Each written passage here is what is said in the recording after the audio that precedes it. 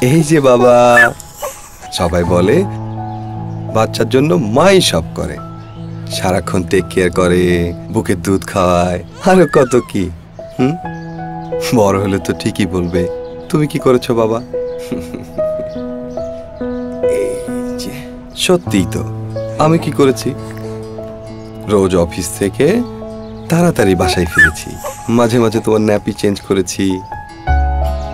আর তোমার মা যেন বিশ্রাম নিতে পারে, আরামে দুধ খাওয়াতে পারে, সেদিকেও খেয়াল রেখেছি। যখন তুমি বড় হবে আমি মনে রাখবে তো? হুম? আমি কিন্তু ঠিকই মনে রাখব।